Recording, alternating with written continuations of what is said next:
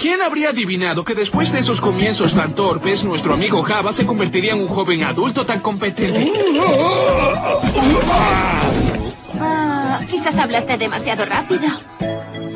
¿Necesitas ayuda, grandote?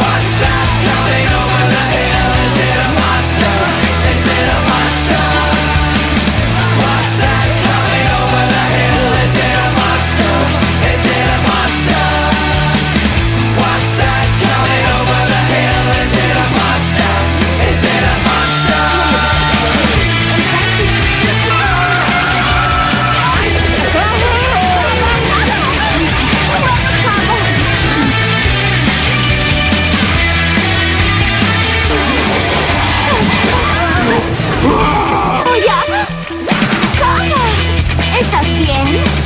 Java tiene hambre. ¡Vamos!